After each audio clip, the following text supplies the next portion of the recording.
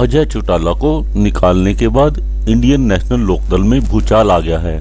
दिग्विजय चौटाला ने आज इस मामले में खुलकर अपनी प्रतिक्रिया दी। उन्होंने हरियाणा विधानसभा में विपक्ष के नेता और अपने चाचा अभय चौटाला का नाम भी लिया।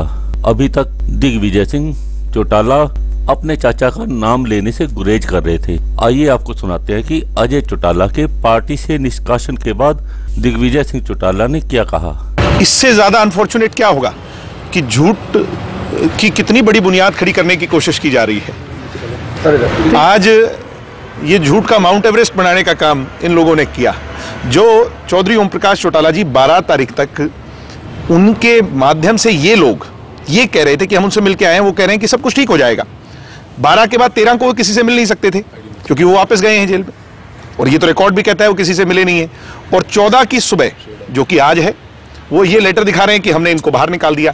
तो तो ये this is a clear cut case of conspiracy एक पार्टी के अंदर इतनी गहरी साजिश कुछ चार या पाँच लोग चंडीगढ़ में बैठ करके और एक स्क्रिप्ट लिखी जा रही है ये तो हमें कल रात को पता चल गया था। मैंने आपको कुछ लोगों को तो सूचित भी किया कल रात को कि ये होने जा रहा है। मेरी बात पे आप यकीन कीजिए क्योंकि उस लेटर को जब चंडीगढ़ ऑफ़िस में बनाया गया तो मुझे हमारे भी सोर्सेज हैं। उनने हमें खबर दे दी थी कि एलो लीडर ऑफ़ ओपोजिशन के कहने पे ये लेटर बन चुके हैं और अब ये प्रिंट हो जाएँगे और ऑटोमेटेड मोहर लग जाती है। आजकल सिग्नेचर की किसी की आवश्यकता नहीं पड़ती। वो तो सिग्नेचर तो पुराने कॉपी होकर के वैसे ही नज़र आते हैं। तो क्या आपका मानना है कि सिग्नेचर फर्जी है? सिग्नेचर नहीं सारा ही कुछ फर्जी है। लेटर भी फर्जी है। इनकी नीयत और नीति ठीक नहीं है।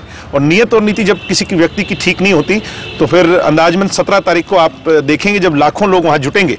जींद के अंदर कार्यकर्ता जुटेंगे वो फैसला करेंगे। चौधरी अजय सिंह चौटाला जी ने बिल्कुल ठीक कहा कि पार्टी का फैसला कार्यकर्ता करेंगे नेता नहीं या व्यक्ति विशेष नहीं कर सकते और ना ही उनको उनको करने देंगे। एक्चुअली पूछ रहा हूँ कि 12 तारीख तक जब इन्हीं के लोग कह रहे थे सब ठीक है। या तो ये झूठ बोल रहे थे या तो ये लेटर 12 तारीख से पहले चौटाला साहब ने जारी किया है।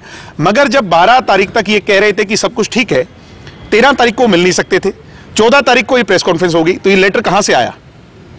तो क्या चैलेंज करेंगे चैलेंज क्या करने की ज़रूरत है? चैलेंज को ये कोर्ट के अंदर थोड़ी मामला। दिग्विजय जी प्रधान तक जो फैसले लिए थे आपके निष्कासन का हो रहा है आप मानते हैं सारा ओम प्रकाश चौटाला जी के बिना सहमति ये आर एस चौधरी एक व्यक्ति हमारी पार्टी के सीनियर नेता हैं उनकी इज़्ज़त करते हैं उम्र में बहुत बड़े हैं मगर वो बहुत गहरे साजिश करता है। उनकी लैंग्वेज है। कल रात को ये जो अजय सिंह चौटाला जी के नाम पे लेटर बना ये भी उन्हीं के हाथों से लिखा हुआ टाइप हुआ हुआ लेटर है। और जो सिग्नेचर्स हैं वो ऑटोमेटेड सिग्नेचर्स आजकल कोई किसी के भी लगा साहब को बाद में बताया जा रहा है क्योंकि जब हम सत्रह तारीख को उनसे मिले थे उनको ये भी नहीं पता था कि हमारी सस्पेंशन हो चुकी है उनके नाम से। तो टर्मिनेशन का भी उनको ऐसे नहीं पता होगा। रणनीति तो रणनीति तो पार्टी के सीनियर तय करेंगे। वो जो भी रणनीति होगी उस पर हम उनके साथ सहमत होंगे। आप पार्टी में तो हम हैं। पार्टी में हम हैं हम थे और हम रहेंगे। और मैं ये कहता हूँ कि हम पार्टी से निकालने वाले लोग नहीं है किसी को। हम पार्टी के साथ जोड़ने वाले लोग हैं। आज राजनीति आज राजनीति ज़रूरी बात जो समझने की है। आज प्रयास ये हुए मुझ पर भी दुष्यंत पर भी डराकर धमकाकर जो कुछ लोगों के नेचर हैं कि इनको दबा लिया जाए। बट हम 21वीं सदी के नौजवान हैं और जिस पीढ़ी के साथ हम कदम आगे बढ़ा रहे हैं वो पीढ़ी भी इस तरह के स्वभाव को पसंद नहीं करती। आज राजनीति में विनम्रता का स्वभाव है। आज राजनीति के अंदर लोगों को जोड़ने का स्वभाव है। आज ये डांटने का, जूते निकालने का, गोली चलाने का जो समय है, वो राजनीति से जा चुका है। आज राजनीति जो है, वो सबको प्यार करने की है। एक दूसरे के साथ मिलकर के सकारात्मक सोच पैदा करने की है। और जो सकारात्मक होगा, आपने देखा वही आगे बढ़ेगा। जो इस तरह की सोच वाला है, वो कहीं ना कहीं कोसों दूर चला जाएगा। और ये फ्रस्ट्रेशन है। अजय सिंह चौटाला के जो प्रेम है उनके प्रति, जनता के अंदर उनके जो प्रति मोह है, उसको देख करके फ्रस्ट्रेशन है कि ये जो अपने आप को जो है ना top of the line leaders मानते थे, आज सारे चंडीगढ़ में अकेले बैठ करके प्रेस कॉन्फ्रेंस करके ये कह रहे हैं कि हमने ये लेटर जारी कर दिए, ये कर दिया, हमने पार्टी के लिए ये किया। ये तो सत्रह तारीख को तय होगा कि इंडियन नेशनल लोकदल में कौन है और कांग्रेस नीति कर रहे थे क्या? चौधरी देवीलाल जी ने निर्देश दिए थे कि मैं यहाँ पर तुझे चुनाव चुनाव लड़वाना चाहता हूँ, दाता रामगढ़ से। उनके निर्देश पर वहाँ से चुनाव लड़े थे। उसके बाद नौर से चुनाव लड़े। वो किसी भारतीय जनता पार्टी के लिए लड़े या मुस्लिम लीग के लिए चुनाव लड़े थे वहाँ से? इंडियन नेशनल लोकदल के लिए लड़े होंगे? जनता दल के लिए लड़े होंगे? उससे क्या जनता दल मज़बूत नहीं हुई? लोकदल मज़बूत नहीं हुई? और उसके बाद संगरिया में जो हश्र हुआ, क्या मुझे उसका ज़िक्र करना चाहिए? मीडिया के लोग भी कई बार इतिहास को भूल जाते हैं। जो कुरुक्षेत्र में 2004 में हश्र हुआ, जमानतें जब्त हुई, क्या उसको आप भूल गए इतनी जल्दी? वो तो सिर्फ़ ये गिनवा रहे हैं कि मैंने उस चुनाव को जीता, मैंने उसके अंदर किला फतेह किया। अब लोकसभा के चुनाव में जो आपका हश हुआ, जो संग्रिया संग्रिया में हश हुआ, जो जिला परिषद में, मेरी मदर की कॉन्स्टिट्यूएंसी में एक जो कहते हैं, एक जो ये कहते हैं कि हालात नहीं थे वहाँ पर चुनाव लड़ने के, और सब लोग ये चर्चा कर रहे थे कि क्या जिला परिषद के लेवल का चुनाव आपको लड़ना चाहिए? फिर भी उनकी जिद कि मैं लड़ूँगा। जिस जगह से मेरी माता जी जीत करके आई सात हज़ार वोट से। वहीं ये स्वयं जाकर के चुनाव लड़े। एक जिला परिषद का चुनाव लीडर ऑफ़ ऑपोजिशन का परिवार सात हज़ार वोट से हार जाए। हरियाणा में सबसे बड़ी हार। ये पार्टी को आपने मज़बूत किया है?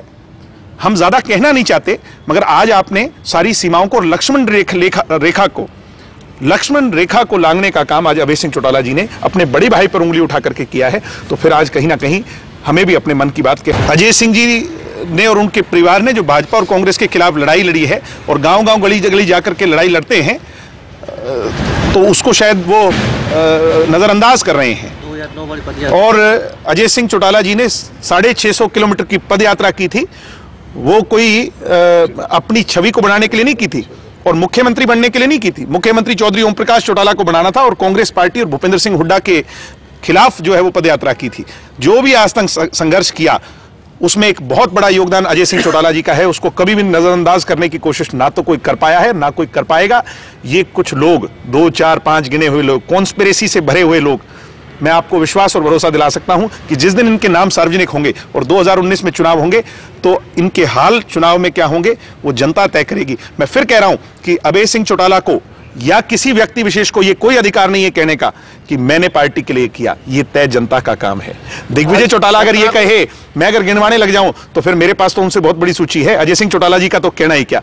वो सारी सूची और उन सारी चीज़ों के बारे में ना ज़िक्र किया जाए और पार्टी को कितना अ, सहना पड़ा है उसके बारे में ज़िक्र ना किया जाए। हम सकारात्मक लोग हैं। आज पार्टी से पार्टी के लोगों को निकालने की ज़रूरत नहीं है। चौधरी देवीलाल की तरह बाहें फैलाकर नए लोगों को जोड़ने की आवश्यकता है और उस काम में हम निरंतर लगे हुए हैं। अभय सिंह चौटाला जी शायद भूल गए उनकी यादाश्त कमज़ोर हो गई या इन लोगों ने जो साथ रहने वाले हैं इन्होंने उनकी यादाश्त पर पानी फेर दिया। अभय सिंह चौटाला जी को शायद याद ना हो जिस चुनाव को जीतने की वो बड़ी बड़ी हुंकार भर रहे थे आज मीडिया के सामने उस चुनाव में डोर टू डोर तकरीबन 11 गाँव में तो मैं घुमा हूँ। स्वयं एक जोन में दुष्यंत जी घूमे और मेरे पिताजी ने एक महीना सब कुछ छोड़ करके उस चुनाव के लिए कैंपेन किया। तो वो कोई एहसान नहीं कर रहे हैं। आज निष्का गया है? क्योंकि एक जहाँ भी अजय सिंह जी जा रहे हैं वहाँ पर 80 90 परसेंट पार्टी खड़ी हो रही है साथ आकर। और 10 परसेंट जो बची हुई है वो सिर्फ़ इस बात के लिए बची हुई है कि हम चौधरी ओम प्रकाश चौटाला जी का जो निर्देश होगा उसको मानेंगे। अब वो स्पष्ट हो गया कि चौधरी ओम प्रकाश चौटाला जी को भी सुपरसीड करने का काम लीडर ऑफ़ अपोजिशन ने कर दिया पार्टी को हाईजैक करने के लिए। तो अब तो तय है कि वो 10 परसेंट लोग भी 17 तारीख को इंडियन नेशनल लोकदल पूरी पार्टी वहाँ आ जाएगी। और 17 को इंडियन मीटिंग बुलाई आप देख लेना दूध का दूध और पानी का पानी हो जाएगा कौन कहा है कौन कहा है। दोस्तों, अगर वीडियो आपको पसंद आए तो लाइक करें, शेयर करें और इस पूरे झगड़े में अपनी राय भी कमेंट बॉक्स में ज़रूर लिखें। हमारे चैनल को सब्सक्राइब करके बेल आइकॉन को दबा लें ताकि हमारे हर एक नए वीडियो की जानकारी सबसे पहले आपको मिल सके। धन्यवाद।